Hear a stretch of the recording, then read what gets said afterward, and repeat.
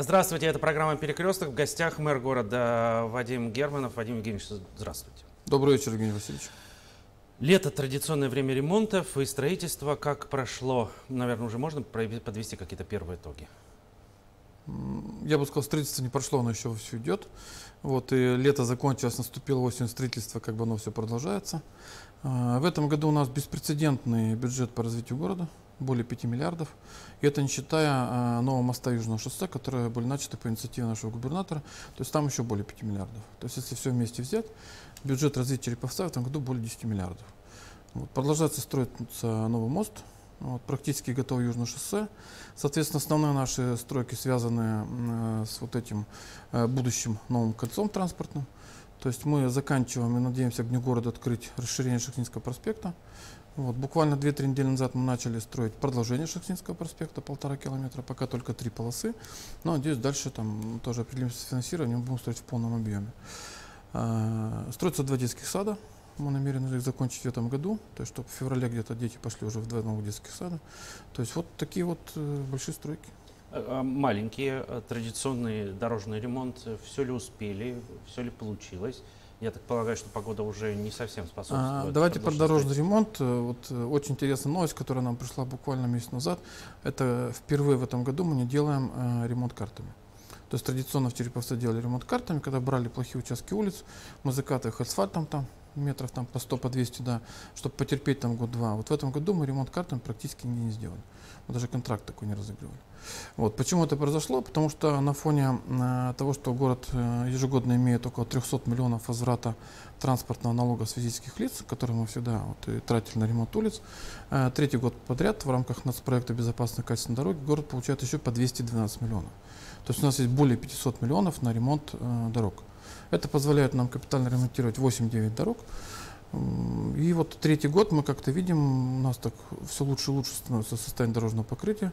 Особенно это замечают те, кто съездили, не буду называть города, чтобы не бежать так недалеко по от соседям. Череповца. Да, по соседям приезжают, говорят, ой, какие у нас хорошие дороги. Я говорю, ну вот надо куда-то съездить, чтобы это понять. Вот, а дороги, по которым сегодня нас немножко качает, они уже все в плане 23 года, он тоже весь сформирован, вот, э, уже готовится аукцион и так далее. То есть по дорогам идет все хорошо, нам осталось закончить Гоголя, Суворова, Горького. Вот, если все будет хорошо, возможно, в этом году мы еще зайдем на Первомайскую. Вот, и все следующие дороги города тоже уже все понятны.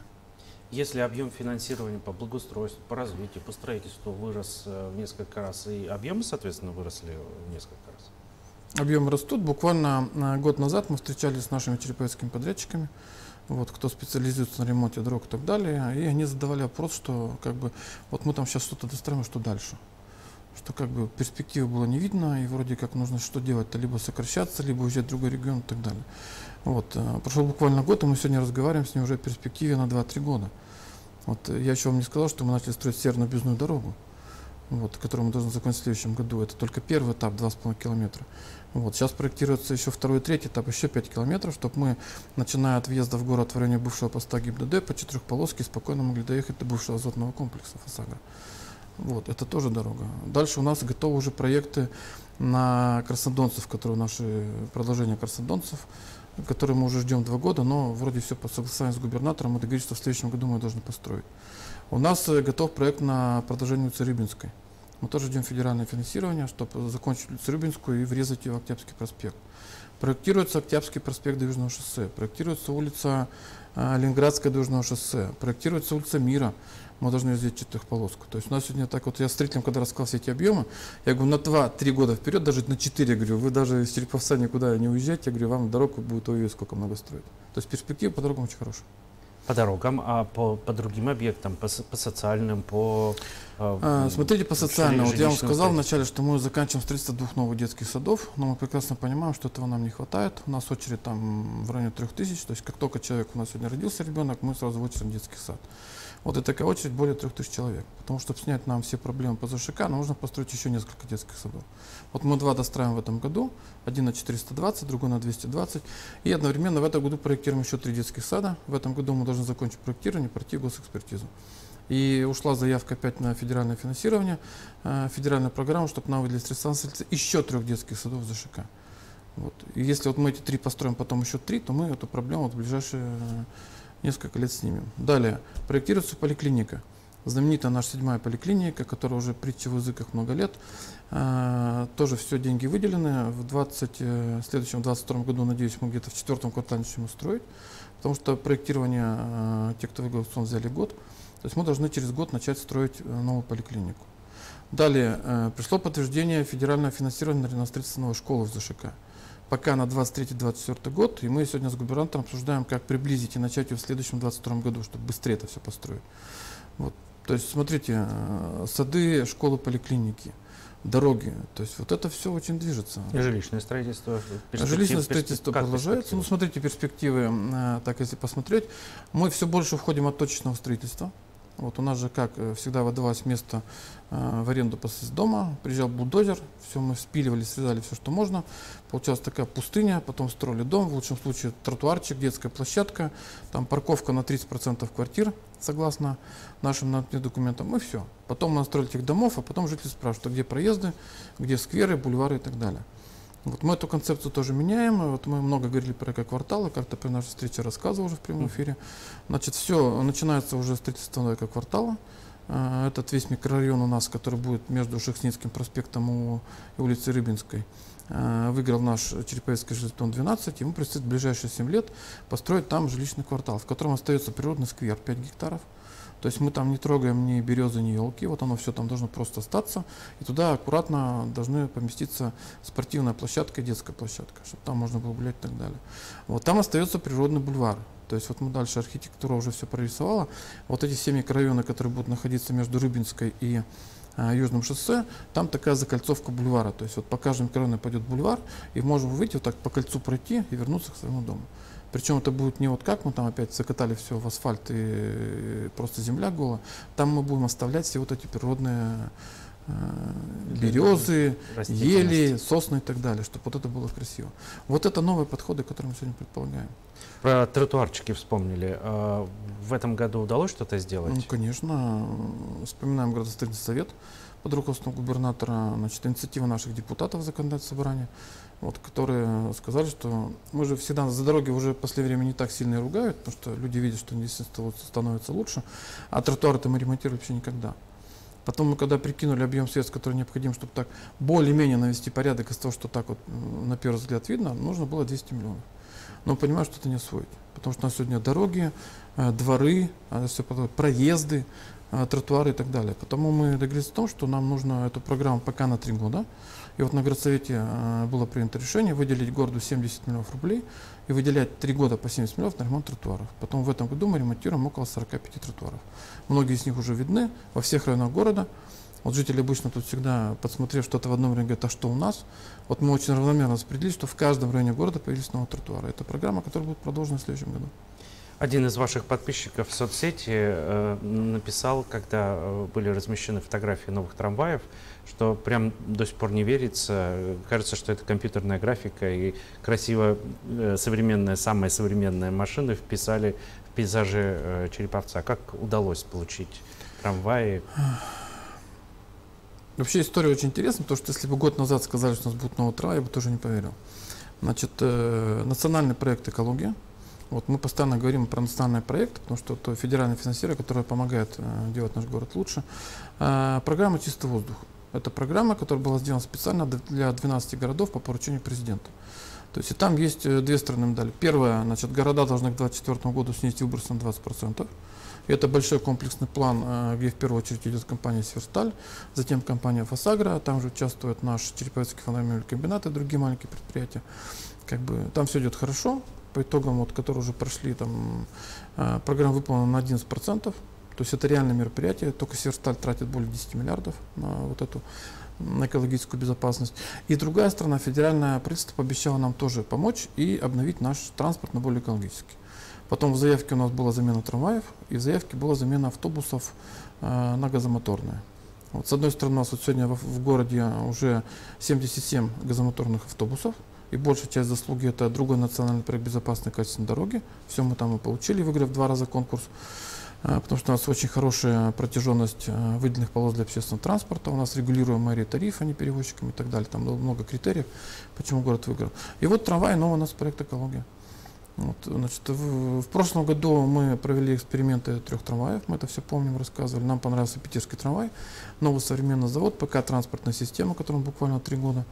Вот, э, у них очень много площадок, сами кузова готовятся в городе Энгельсе, потом перевозятся, э, красятся в городе, ох, забыл, Твери, а, вот, и потом уже окончательно сборка идет в Санкт-Петербурге. И вот когда вот этот третий трамвай в том году пришел, мы покатались, это то, что надо, это как у нас говорят, трамвай будущего как будто там машина времени какая-то, и нам понравился.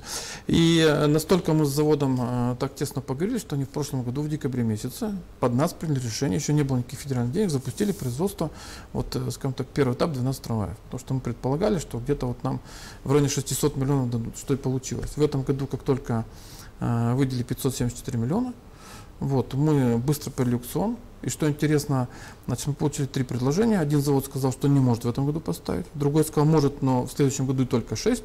И только вот этот завод сказал, да, конкретно мы к ноябрю все поставим. Потому как только прошел аукцион и все вот эти необходимые процедуры, мы подписали договор, по сути, мы э, с депутатом Госдумы Алексеем Канаевым, который вот очень плотно тоже этим всем занимался, мы таким тандемом шли. Вот губернатор помогал, значит, депутат Госдумы, э, мэр, трамвайное управление само. Вот такая командная работа получилась. И, по сути, как только мы подписали договор, мы приехали в Питер, сказали, вот договор, нам сказали, ваши 12 трамваев. Через две недели их привезли в Череповец, значит, в понедельник выпустили первые шесть, сегодня их уже восемь, два пока на обкатке на обучение водителей, и скоро все 12 встают вот в эту, как бы, и поехали. Учитывая, что у нас сегодня выходит 28 трамваев э, как бы ежедневно, то есть половина трамваев будет новых. И самое интересное, буквально неделю назад к нам приезжал первый заместитель министра экологии и природопользования. Значит, он знакомился то, что происходит на, у нас на водоканале. Там тоже отдельная программа э, своя идет, большая федеральная. Э, посмотрел Северсталь, посмотрел Фасагра, и мы его прокатили на трамвае и договорились о том, что нужно закончить этот проект, то есть получить все новые трамваи, отремонтировать пути, чтобы трамвай стал самым быстрым, самым хорошим видом транспорта в Череповце. И какие перспективы получения новых трамваев и э, сколько нам нужно? Э, нам нужно 40, мы пока получили только 12, то есть нам нужно еще 22 э, львенка, это которые маленькие, и 6 э, спаренных. То есть, чтобы было 7, мы рассчитали, что в часы пик нам 7 трамваев будет хватить, хватать. То есть они работают утром вечером, потом днем они отдыхают, нам достаточно маленьких трамваев, пассажиропоток небольшой. Вот. Очень надеюсь, что в ближайшие два года мы полностью обновим весь парк трамвайный, это наша задача и перспектива, и отремонтируем трамвайные пути. Ну, череповчане же специалисты во всех областях. Э, сразу же, опять же, на вашей странице появились специалисты по железнодорожным путям, которые сказали, что убьете в ближайшие дни эти трамваи на существующих трамвайных путях. Так а, ли ну, это? Первое, давайте, значит, э, давайте возьмем того, что старые трамваи, которые уже много, там, десятков лет у нас ездят, обновления парка не было уже давно, они как-то не убились, они ездят, и слава богу, все хорошо. Другое дело, что они уже, когда мы начинаем их резать металлом, смотрим, там уже сам кузов уже такой э, не скажу, что труха, но так это не, не, неприятно уже смотреть на наши трамваи, когда их вскрываешь с точки зрения безопасности. Вот. Потом, я думаю, эти трамваи прекрасно отходят. Вот, тележки очень э, современные, подпружиненные. Вот вчера буквально я тоже решил прокатиться. Вот, проехал там от Олимпийской э, до набережной, вот увидел много интересного в трамвае. Оказывается, у нас не работают валидаторы, пока только кондукторам оплачивают. Задал коллегам вопрос, вот, почему-то не включены печки, все окна запотевшие. Я говорю, как-то вроде бы уже пора. Ну, такие нюансы посмотрели. И на самом деле трамвай новый идет намного мягче, чем старый. Потому, я думаю, ничего не произойдет, э, пока они поездят, и в ближайший год-два мы пути отремонтируем. Ну, программа э, по программа есть, да. Наша задача вот, через год-два сделать так, чтобы трамвай походил быстро, как в метро, не было вот этих раскачиваний, подпрыгиваний и так далее. И реально это будет самый быстрый вид транспорта. Например, добраться с Олимпийской до завода, это будет быстрее всех. Мы с вами э, в одном из эфиров говорили про то, что э, череповчанам э, не о чем скоро будет мечтать, потому что мост в следующем году построят и, и как бы и все. А, вы меня переубеждали, и давайте вот сейчас, может быть, еще пунктиром таким опять э, перечислим проекты, приоритетные проекты в городе, которые, э, о реализации которых можно мечтать. Ну, смотрите, Евгений Васильевич, мы поговорили про крупные, да, школы, детские сады, поликлиника, там дороги, мосты и так далее. Но ведь когда у нас э, простой наш горожанин выходит э, как бы из дома, не знаю, в магазин, на работу, он что хочет? Он хочет, чтобы был хороший тротуар. Он хочет, чтобы это все было освещено. Вот. Ему нужно, чтобы он, когда приходит на остановку, чтобы это была приличная остановка. Плюс мы ставим сегодня табло остановочное, чтобы как бы было понятно, через сколько времени приходит твой автобус. Вот, э, он хочет скверы, чтобы вечером можно было выйти погулять с ребенком. Там, это был не просто там какой-то приличный сквер, детская площадка, спорт. Вот очень много спорта сейчас строится в городе, можем отдельно поговорить. Вот, то есть, понимаете, вот кроме вот этих больших таких объектов, очень много маленьких. И мне кажется, вот эти маленькие дают вот это вот э, самое главное благоустройство, чтобы когда ты входишь, тебе было комфортно в родном городе. И это приоритеты? И это приоритет. У нас огромные планы по набережным. Вот, э, сегодня, если раньше мы говорили, давайте встретимся на набережной, все понимали, что нужно идти на набережную, которая, по сути, напротив, между Заягорским мостом и Петром Первым. Сегодня просто сказать, пойдем на набережную, ты не знаешь, то ли идти на Курсантскую набережную, то ли на просто набережную, которая пока без названия, то ли на набережную университетскую. А мы начали сейчас строить набережную вокруг Соборной горки. Там уже э, наш терапевтский подрядчик Вектор начинает бить сваи. Она будет с подпорной стенкой. Дальше в этом году мы э, голосовали за то, что в следующем году начать следующий этап набережной, это будет еще уже от Соборной горки до улицы Горького. И по сути мы выходим на финишную прямую. Задача, которую поставил губернатор к 2024 году, закончить строительство всей набережной, чтобы могли от Заягорского моста пешочком, либо на велосипеде э, прогуляться или доехать до э, Октябрьского моста огромная перспектива. Потом мы уже начали, зашекснул уже, мне спрашивают, когда там начнем, вернемся к усадьбе Гольских. Я говорю, давайте до Октябрьского и вернемся на тот берег. То есть перспектив очень много. К вопросу о голосовании. Народный бюджет и комфортная городская среда в следующем году а, актуальны, сохраняются да, эти проекты? Да, все остается. Мы по-прежнему получаем и федеральные деньги э, на комфортную городскую среду. Напомню, что это федеральный проект вот, выдвинутый по инициативе «Единой России» три года назад, и город каждый год получает по 200 миллионов. То есть то, что мы в дворы, это федеральные деньги. Вот. И, конечно же, мы продолжим нашу программу городскую. То, что в этом году мы выделили 150 миллионов, тоже это в два раза больше, чем в прошлом на народный бюджет ТОС. То есть все эти программы продолжатся. Ну, вы, обычно э, выпуски новостей у нас заканчиваются э, спортивными новостями, и вы уже проанонсировали спортивные объекты. Да, давайте. Что будет а, Давайте быстро, что мы сделали в этом Давайте году. не быстро, у нас есть еще время. Есть время. Да, три минуты. Тороплюсь. Три минуты. Хорошо. Значит, э, что происходит в этом году? В этом году мы получили на Градсовете 100 миллионов на развитие спорта. Мы ремонтируем три э, пришкольных стадиона. Сразу говорю, в каждом районе города, в основных. Вот, значит, и делаем три спортивных площадки. Дальше сейчас в городе заканчивается строительство 10 спортплощадок, которые нам подарила компания «Спортмастер». Такие вот воркаут-площадки, турнир комплекс, комплексы и так далее. Значит, э, далее очень сейчас популярен спорт. У нас сейчас строятся четыре э, частных спортивных объекта. То есть предприниматели это видят, вот эту тягу молодежи к спорту. Э, у нас практически готов уже начать заниматься в футбольном центре на Андреевском. Прекрасный корт с искусственным покрытием. И мы уже готовим муниципальный заказ, чтобы наши дети, которые ходят просто в секцию бесплатно, не бегали зимой по снегу на стадионе Металлург и так далее, будут тоже заниматься в этом корте за городские деньги. Это будет наш муниципальный заказ этому предпринимателю. А, дальше строится, и надеюсь, в этом году будет открыт хоккейный, центр хоккейной подготовки на летнего. А, на улице Беляева, ближе к Питину за Олимпийской, строится еще один центр футбольной подготовки, где будет два закрытых корта и один открытый. Чувствуете уже, как бы, да? А, дальше Беляева строится фокс-бассейном, наш тоже черепецкий предприниматель строит. Строим э, на городские деньги скейт-парк для молодежи около улицы Парковой. Это наше обещание. Если у нас все будет хорошо, вот такой скейт-парк мы можем делать в каждом районе города. Он недорогой, за городские деньги разместим в каждом районе, чтобы молодежь вот не остановки разрисовывала, ходила, и дорожные знаки, которые сейчас мода разрисовывать там фломастером, баллончиками, а вот занималась чем-то таким. А дальше проектирование. Значит, мы закончили проектирование лыжного стадиона, и в этом году появляется новая трасса освещенная впервые. Мы к концу зимы, вернее, к началу зимы там поменяем еще раздевалки, постараемся сделать там приличный общественный туалет на лыжном стадионе Заксона. Заканчиваем проектирование большого фока в зале Дома дворцом, где будет большой универсальный зал и четыре маленьких. Ну и ожидаем где-то в октябре долгожданную стройку, как мы называем, года. То, что нам одна вологодская компания сорвала строительство фока на улице Монтеклер, надеюсь, что где-то так тоже к Дню города мы его запустим. Пожалуйста, по спорту. И перспективы на 2-3 года вперед еще. Если говорить о перспективах, ровно через неделю прямая линия с мэром, к нам присоединятся э, жители города Череповца, будем отвечать на их вопросы. Вам сегодня спасибо за э, подробный рассказ о том, чем живет э, город. До встречи через неделю. Спасибо вам. Это была программа «Перекресток». В гостях был мэр города Череповца Вадим Германов. Увидимся.